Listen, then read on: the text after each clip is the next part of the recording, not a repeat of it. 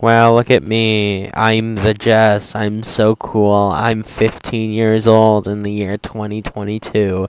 That's so awesome and cool and